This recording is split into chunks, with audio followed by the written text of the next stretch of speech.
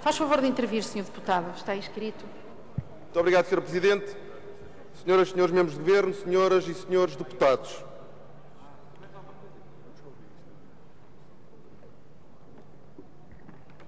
No momento em que se pedem sacrifícios tremendos a uma parte considerável dos portugueses, dois subsídios retirados aos funcionários públicos, duas pensões, aumento do custo de vida dos trabalhadores portugueses, da, da maioria das famílias portuguesas, ao mesmo tempo que se pede este sacrifício aos trabalhadores, aos pensionistas, o Governo, pelo Ministério das Finanças, mais concretamente através do seu Secretário de Estado dos Assuntos Fiscais, faz uma interpretação do conceito de tributação efetiva que, na prática, permite que, que dividendos de milhões de euros sejam tributados de forma simbólica. Isto é, no momento em que não só se pedem sacrifícios às famílias, no momento em que se sobe para o dobro a taxa de IRC para as pequenas e médias empresas com lucros até 12.500 euros, os grandes grupos económicos têm, através da interpretação que o, seu, que o seu Governo faz e que o seu Secretário de Estado dos Assuntos Fiscais faz, têm aqui a possibilidade de fugir, de evitar o pagamento efetivo da taxa de IRC a que todas as empresas portuguesas estão sujeitas. É absolutamente incompreensível, inaceitável que se faça isto neste contexto, neste ano, em qualquer momento. Mas neste ano é ainda mais incompreensível como é que o Governo pede os sacrifícios que pede ao país, é capaz de proporcionar a isenção do pagamento de impostos sobre a distribuição de dividendos.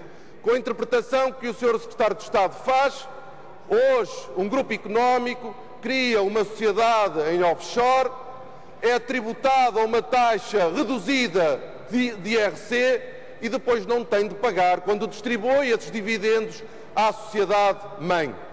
É absolutamente inaceitável, é incompreensível quando ainda hoje tivemos a votar o corte dos subsídios que grupos económicos que distribuam milhões, milhões de euros não sejam, não sejam alvo de tributação como é qualquer outra empresa, como passará agora a ser também as pequenas e médias empresas que têm lucros até 12.500 euros.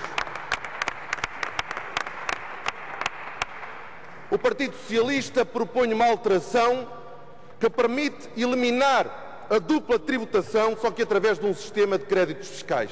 Isto é, se ao longo da cadeia, o Sr. Secretário de Estado explica já, não se preocupe, ao longo da cadeia, quando uma empresa é alvo de uma tributação de 5%, no final, quando os dividendos são distribuídos, com a nossa proposta, a empresa no topo da cadeia pagará a taxa de IRC descontada dos créditos fiscais que acumulou ao longo da cadeia. Assim teremos uma proposta, assim teremos um regime justo, em que todas as empresas pagam aquilo que têm de pagar.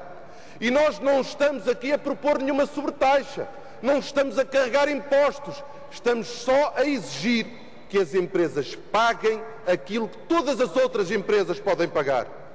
E este é o momento para nós corrigirmos, retificarmos, trazermos justiça a este orçamento, para que mais facilmente os portugueses aceitem os sacrifícios que os senhores estão a impor.